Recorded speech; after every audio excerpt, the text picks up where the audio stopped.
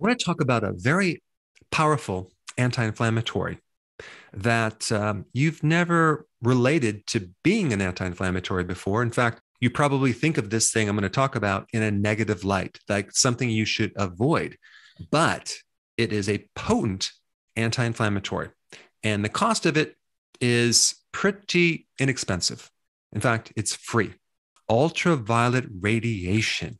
When I even say the word UV radiation, you probably immediately think, wow, skin cancer, avoid this radiation. It's something very, very bad. But you have to realize this UV radiation, which is a part of the spectrum of energy from the sun. I mean, human beings, animals, and plants have coexisted with these rays for a very long time.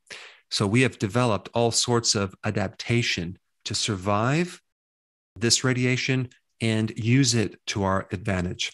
In fact, when we're dealing with the sun's rays, ultraviolet radiation is the only part of that sun's energy that you can make vitamin D. And you know how important vitamin D is. It's the most important uh, vitamin for your immune system. It's the most potent anti inflammatory, but it's created from ultraviolet radiation. Now, before you disagree and click off, hear me out because we're really talking about the dosage, okay? Small amounts of UV radiation. Now, I'm not going to lie, too much of it, chronic exposure to UV radiation, is really bad. It can increase your risk of melanoma. It can produce a lot of wrinkles. It can take the water right out of your skin and make your skin very dehydrated. It's all about the dosage of this radiation, but a small amount here and there, not the amount that it would create a burn, but maybe a very slight tan could be very, very beneficial. So let me first explain what makes up ultraviolet radiation. You have UVA, UVB, and UVC. Let's first talk about UVC and get that out of the way because it doesn't really pertain to what we're going to talk about because you're really not exposed to UVC. UVC is generated by the sun and it gets trapped in the ozone layer. So it never ends up on Earth. But they do make UVC artificially in different wands that they use to kill certain microbes. And so it, it, can definitely create some problems, believe me, but you don't have to worry about it from the sun. So now that leaves us with UVA and UVB. What are the differences?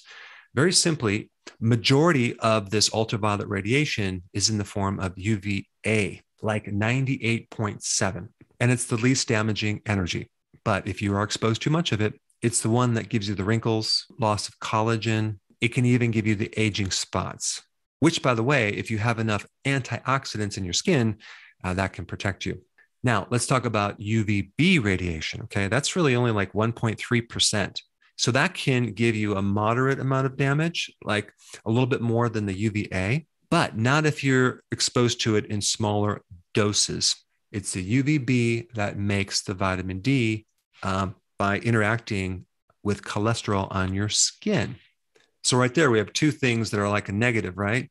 People think, oh my gosh, I need to pr- protect myself against ultraviolet radiation and protect myself against cholesterol. Well, if you combine those two things, you get vitamin D, which is very, very important, especially since the majority of the population is deficient in vitamin D. In fact, there's some reports, which I think I agree with, it's virtually impossible even to develop an autoimmune disease if you have sufficient vitamin D, simply because how vitamin D is so intertwined with every part of your immune system. Now, UVB radiation also is the one that triggers the melanocytes to make melanin. Okay.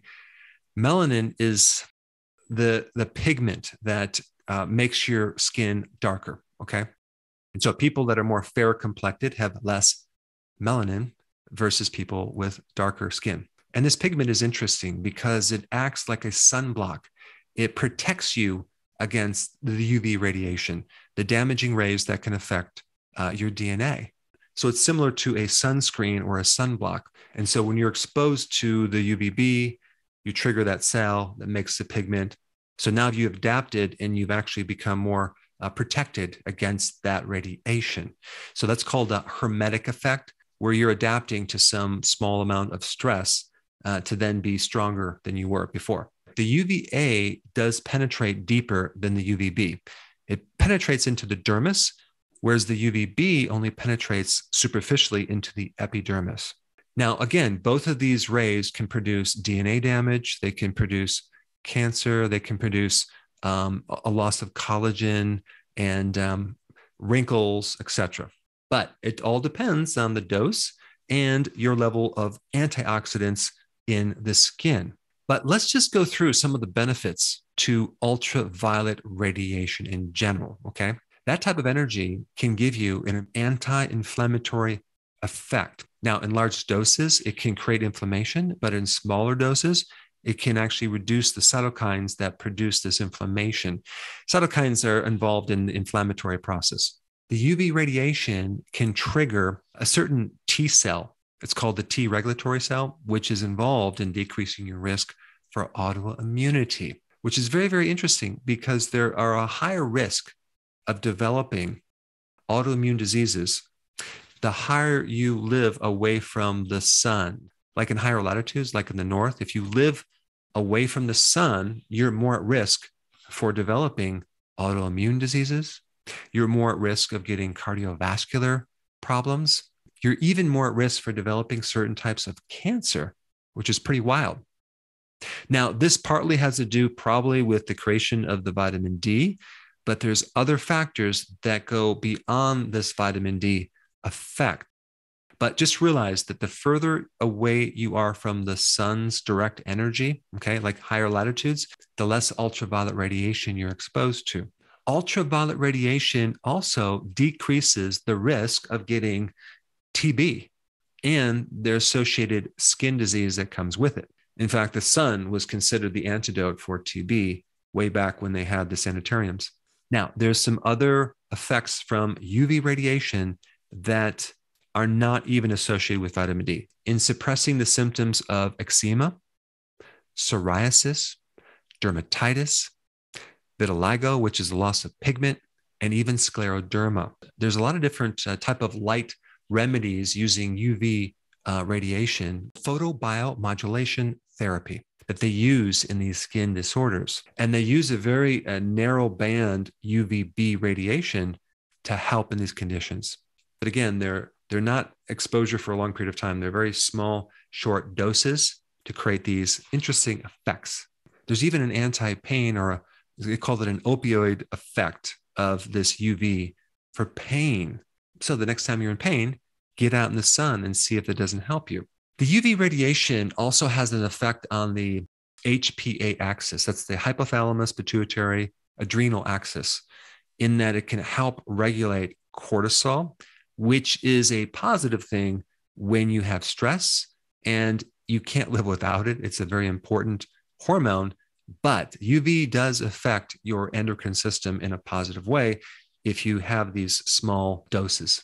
UV radiation also increases nitric oxide. I've done videos on that of helping the inside of your arteries, but nitric oxide also can be very beneficial to your skin and act as a protective uh, mechanism against the UV radiation. UV also, in short doses, gives you reparative actions, probably because of the um, hormetic or stress effect, and then the adaptation that comes after. UV radiation can elevate your mood. This is probably why people feel better in the sun. Also, it can increase and help balance serotonin in the body. So, I just wanted to create this video to kind of show you the other side of ultraviolet radiation, it has a lot of positives. If you don't overdo it, it's not all bad. We don't just need to avoid the sun and use a lot of sunblock and wear hats and glasses all the time. A little bit can help you. And of course, out of all of these factors that are related to UV, I think vitamin D is probably on the top of the list as far as the most important.